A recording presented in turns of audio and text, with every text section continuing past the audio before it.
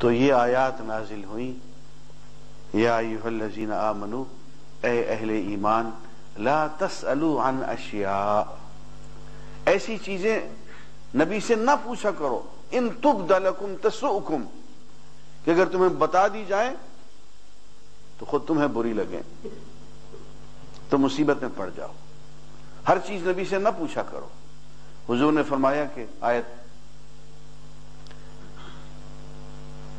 کہ تم پہ حج فرض کر دیا گیا اس شخص کے لیے جو وہاں جانے کی استطاعت رکھتا۔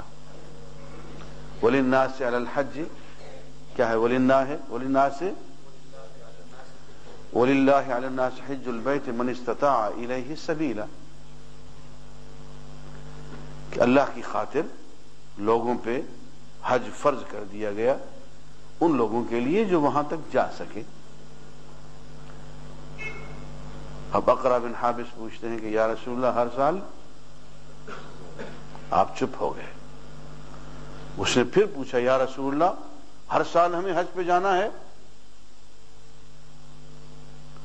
اور آپ ناراضگی میں چپ رہے۔ اور پھر آپ نے کہا، لا۔